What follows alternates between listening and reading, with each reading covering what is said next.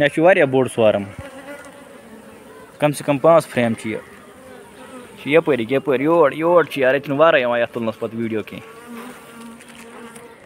क्या ये वारा ये योर यम तरफ़ तह यम तरफ़ यार योर ये यपर तह ओड़ हना ये मा वार यार